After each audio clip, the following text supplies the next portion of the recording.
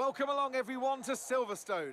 Britain has returned the highest number of F1 World Champions of any country that's taken part in this glorious sport.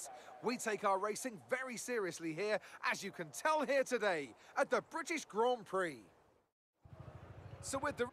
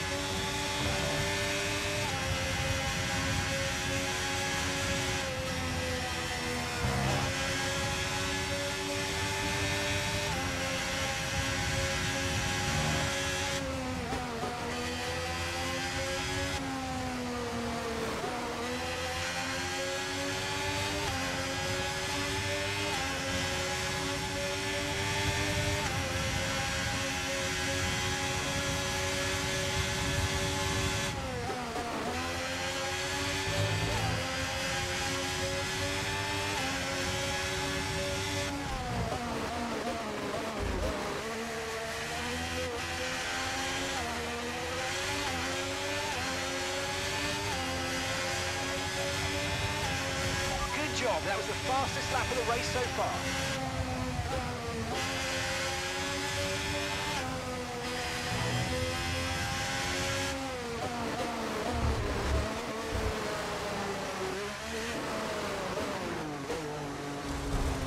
Okay, this is Mark. I need you to stop cutting the corners. If you keep it up, the stewards are going to give you a penalty.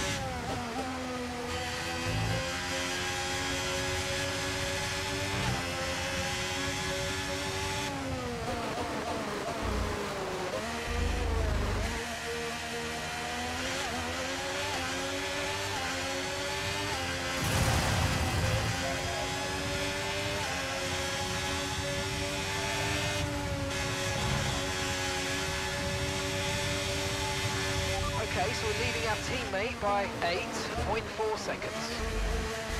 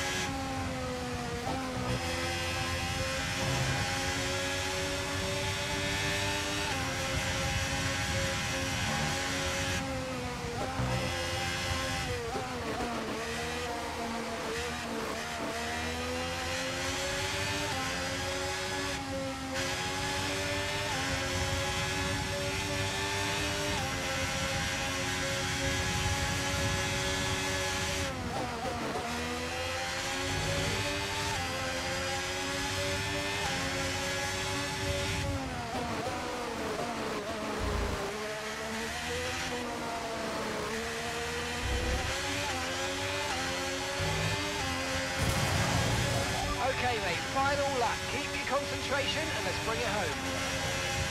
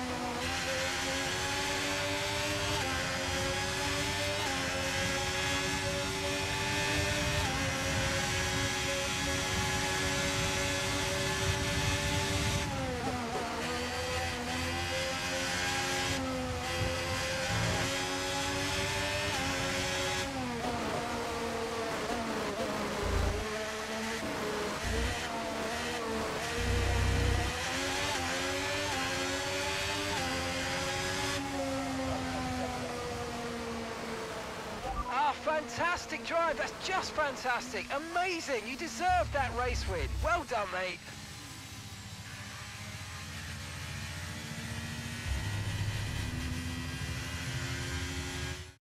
Well, they've done a brilliant job, I must say, under some intense pressure to take a well-earned victory here at the British Grand Prix.